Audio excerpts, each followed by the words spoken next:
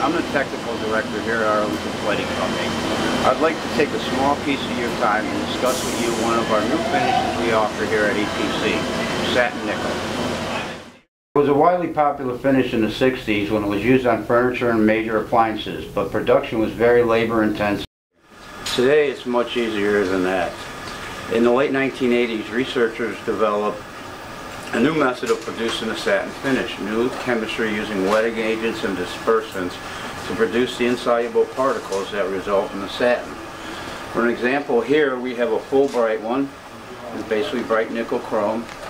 This is how they looked in the 1960s where they took the Scotch-Brite wheel, they satin the nickel, and then they had to reactivate the nickel and put the chrome over it.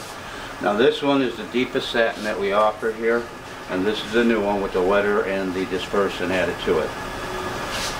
As you can see right here, this is one of our many satin nickel tanks. He's getting ready to pull them out right now.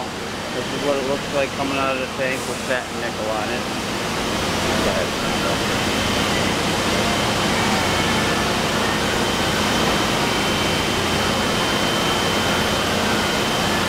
As you can see here, the equipment's a little bit different than your normal nickel tank to produce the satin finish. There's several different types of agitation. Right now with the finish we're running, we have a rod agitation and a bump bar on it.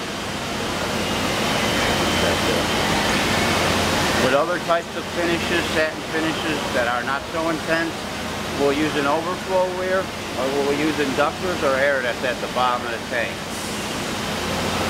One and putting them in there. All our parts of satin nickel has a bright nickel underlayment on it. So you can see the difference before and after the satin.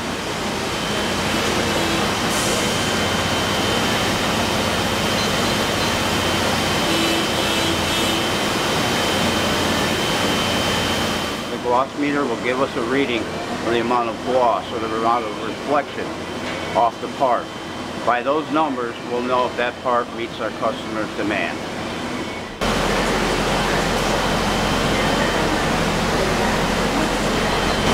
To ensure that our customer always gets the proper finish, the intensity of the satin that they want, what we'll do right now is at the end of the production line, we'll go ahead and take a piece off the top, middle, and the bottom, because those are different current densities, and then we'll run it through our gloss meter.